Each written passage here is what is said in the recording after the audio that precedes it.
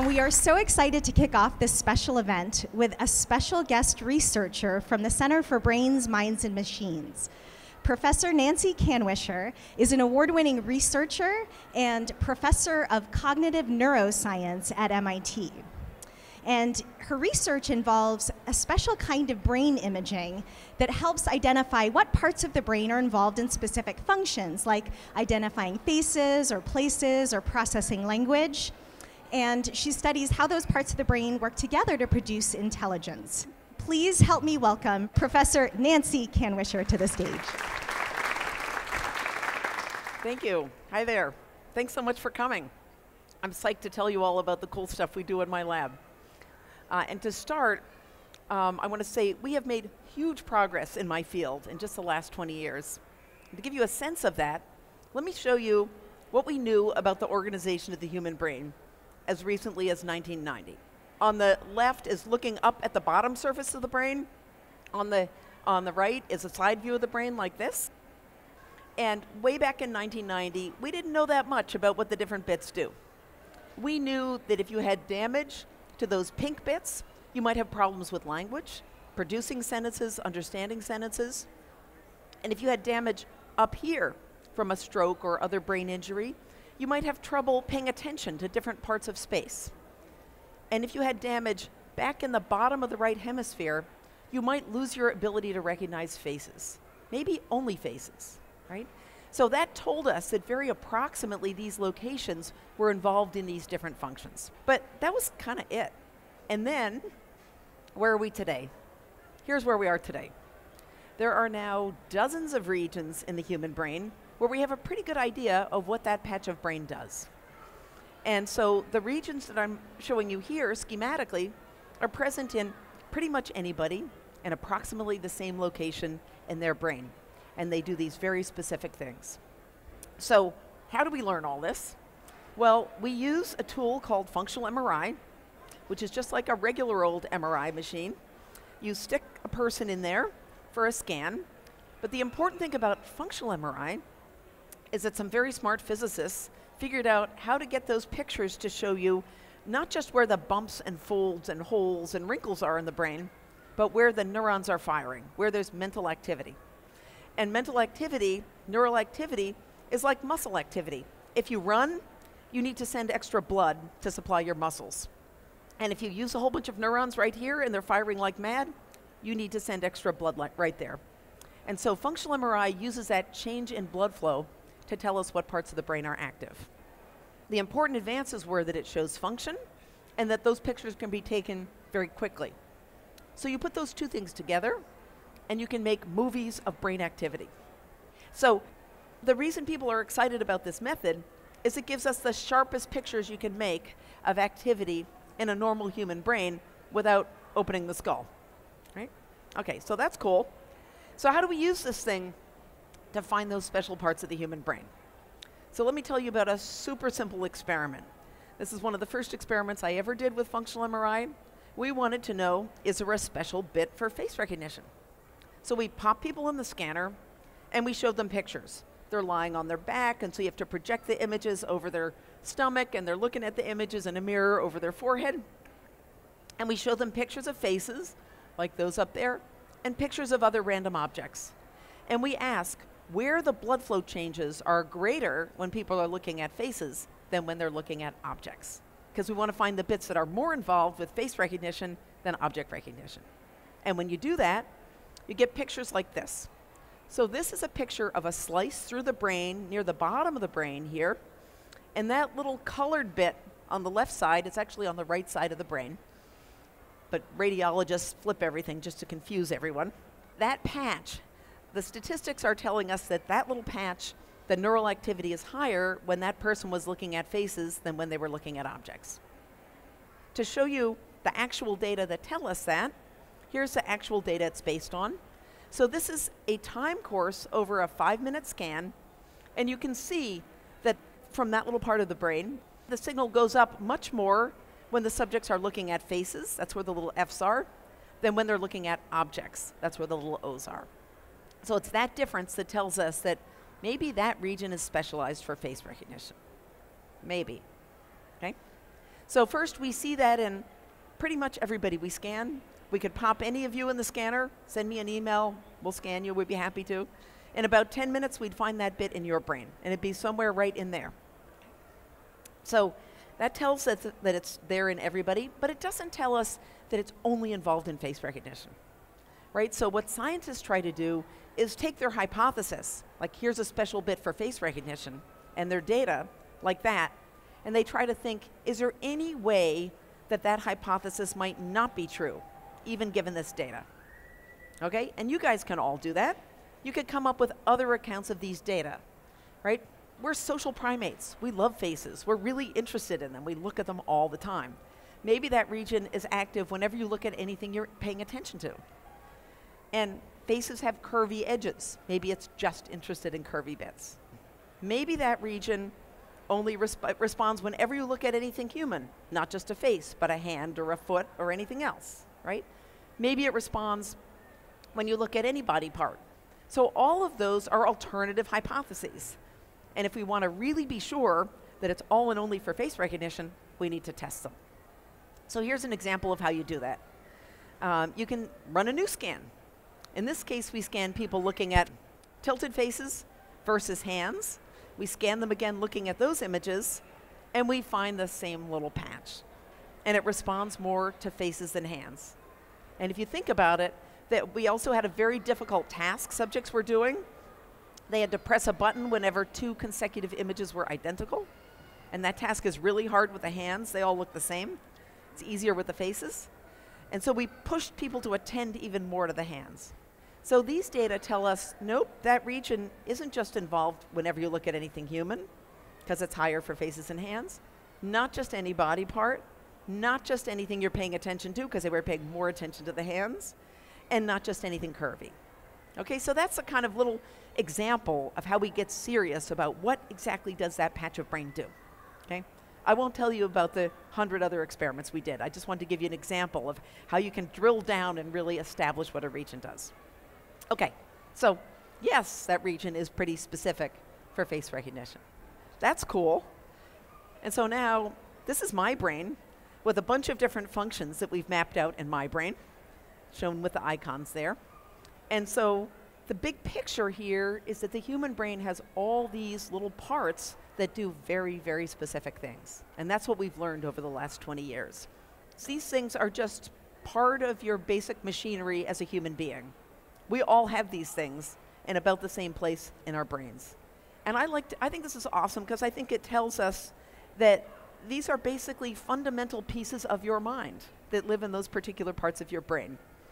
I think this is kind of a sketch of what a human mind is. It has these special purpose parts. But it also raises a million questions. I'm sure you guys already have questions in your head. So I'm going to tell you about just a few of those. So the first question is this. So far, we have just watched that part of the brain turn on when you look at faces and turn off when you look at other things. That's great, but it doesn't tell us that you need that part of the brain to recognize faces. Maybe it's just going along for the ride, it's not doing the actual work. So, in science, we care deeply about the causal role of different things. We want to know not just does that thing turn on when you look at faces, we, need, we want to know is that the part you need that's really doing the work of, of recognizing faces for you. And the only way to test the causal role of a region of the brain is to mess with it. Okay? Now, normally, we don't get to mess with parts of the human brain. People don't like it when you do that.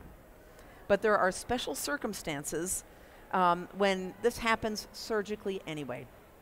So, a subset of people with epilepsy do not respond well to drugs. And if you do not respond well to drugs and you have such severe epilepsy that you're having many seizures a day, you can't live a normal life. That's not a good situation to be in. So those people sometimes go in for neurosurgery. And this is quite hardcore.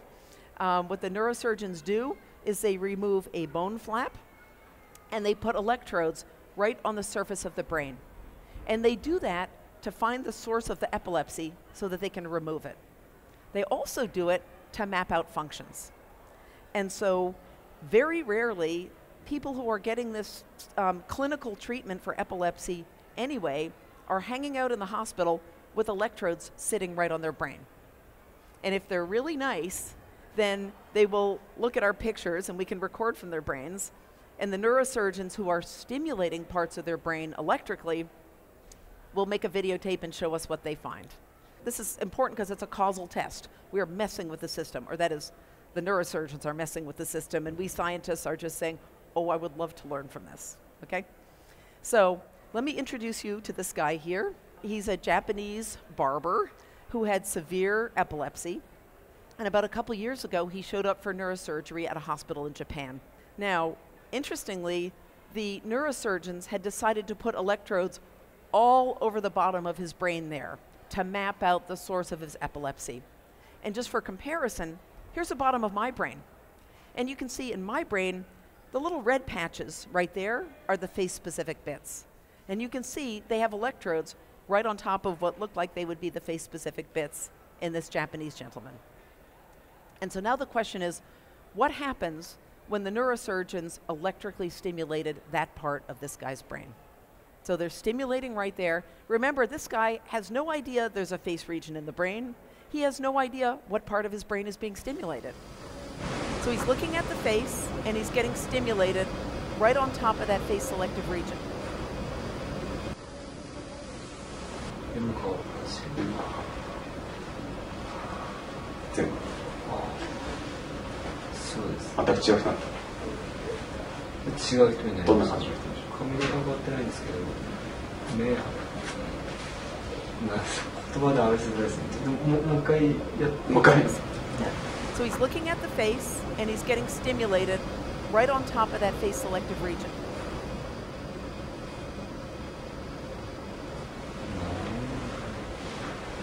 この部分だけななんかなんかアニメでアニメに出てきそうな感じの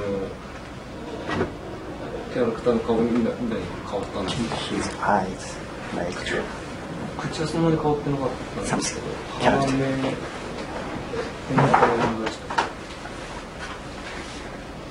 Okay, so when he's looking at a face and that region is stimulated, it distorts the face. But now he's just looking at a box, stimulated in the same region. What's going to happen? どうでしょうか何変わらないうん No change あの最初の1秒ぐらいあの始まって1秒ぐらいがなんかあのちょっとい横になんか目目口って感じでちょっと一瞬見えたんですけど、うん。これな何かなと思ってたら気が付いたらもうこの箱にしか見見えてないっていうか、So when you stimulate that region, when he's looking at a box, he sees a face on top of the box. This is a kanji character on a card that he's looking at.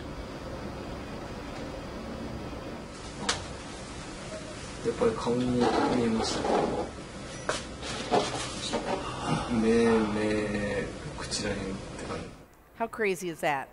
He's looking at a Japanese character, and that little face part of his brain is being electrically stimulated by the neurosurgeons, and he sees a face on top of the character. So that's causal data. That tells us if you mess with that part of the system, you produce a change in experience. That tells us that region is really involved in face perception. Now, you might think, well, we're interested in faces. As I said, we're social primates, we look at them all the time. Maybe any place you stimulate in the brain, people see faces. So let's see what happens when they stimulate right next door. Right next door. Now, if you, it's hard to see, but in my brain, there's a little teeny purple bit. That purple bit is a part that responds to color in my brain. And he's got electrodes right in that location. So let's ask what does he experience if he's stimulated right on those electrodes that respond to color? Let's find out. Again, he has no idea there's a color part of the brain.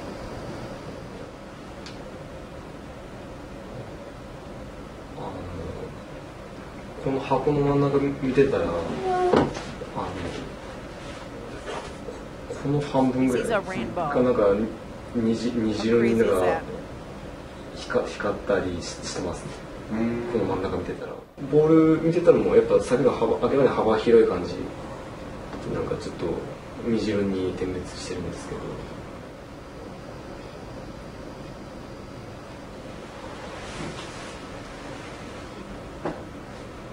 先生のやっぱ鼻あたりに目線 見見てたらやっぱこちらの半顔半分が Okay, you get the idea.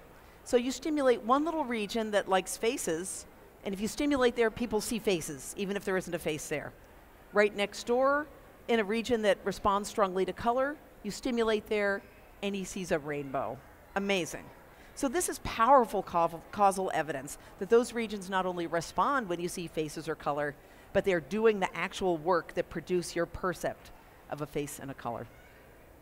Okay, that tells us that the face region is very specifically causally involved in face perception, and the color region is very specifically involved in perceiving colors. Okay, there's loads of other questions about this picture of the brain, like how do you wire it up in development? How is it so similar in every person? How does the brain know to put the face region right there and the color region right next to it? Okay? Your first thought looking at that, or many people would think, well, it must be innate. If it's the same in everybody, it must be innate, right? But that's not true for everything. Not every little region in there is innate. And I'll tell you about one little region shown in purple up there called the visual word form area. And that's a little patch of the brain that responds strongly when you look at words or letter strings. Okay? So here's a response from some of our data in a bunch of eight year olds who we scanned. And that purple bar shows you a really strong response of that region, right in that region when the participants were looking at words and letter strings, and a much lower response when they were looking at objects and other things. Now, these subjects happened to be kids who had been in the lab three years before, and they'd been scanned on a similar experiment. So we looked at the region that responded to words, and we aligned it with their data from when they were five years old, and we said, what was that region doing when they were five before they learned to read? Answer, it was not selectively responsive to words. So that tells you that it's a process of learning to read in between age five and age eight that wires up that region. Experience is necessary. Now, that doesn't mean that experience is necessary to wire up all the other regions, but it means it's, it's what's going on here. Really, what we want to know is not just what's happening later in life, but what's happening early in infants. How fast is this stuff wired up? So, my friend Rebecca Saxe did an amazing study over the last bunch of years. She wanted to ask whether some of those face and other selective regions are present even in infants, right? And so, what she did was she set out to scan infants who were four to six months old. And as you can imagine, that is barely possible. The infants are fussing, their parents are nervous. It's perfectly safe, but it's a tricky thing to do. Okay, it took Rebecca many years of work. There were many technical advances that were necessary. She made this specialized device out of an infant recliner with a measurement device in the scanner. So they're in this infant recliner in the scanner. And she found that that face region and another region were present already in six month old infants. So that tells you they develop really early, but it also doesn't tell us exactly how they get wired up in development. We know that at least one region, that visual word form area, is wired up by experience, but we don't know the role of experience in wiring up all of those other regions. Okay? And so that's where that's kind of cutting edge of the field right now. Lots of labs are working on that problem. My lab is working on that problem. We're doing it in part by scanning congenitally blind people when they touch things, asking if you get a face area when you touch faces. I think you do. I'm not yet sure. We're in the middle of it. If you know any congenitally blind people who want to help us out with our research, send them my email. I'd love to hear from them. And of course, the third major question is I've been talking so far only about specialized parts of the human brain um, that are involved in different kinds of perception faces, reading words, seeing colors, right? But so, do we have special parts for really high level abstract aspects of thinking, right? Things that maybe only humans do. And in uh, work over the last few years, we've shown absolutely you do. It's not just that we have special little bits for perceiving things, we have special bits for thinking as well. And in particular, we've shown that those language regions that I showed you, the big pink blob at the beginning of the talk, those language regions, you can find them with functional MRI, and you can scan people and you can ask, do those regions turn on when people do other things that aren't language? like listening to music, like doing arithmetic, like holding information in working memory? And the answer is no, no, no. The language regions are super specific for language. And so you may have wondered what is the relationship between language and thought?